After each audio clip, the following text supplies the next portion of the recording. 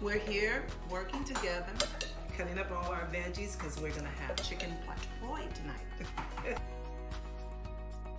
I got my girls here helping me to cut up all the vegetables. It's so lovely when you have a lot of helping hands and it make it easier to cook.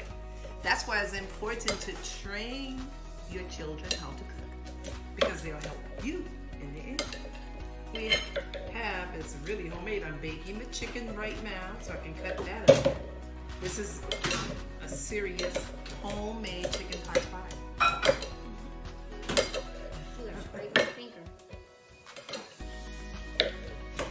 You know how the tail, this peels and these off, they peel my finger off. Yeah, you have to be careful with it. And mushroom.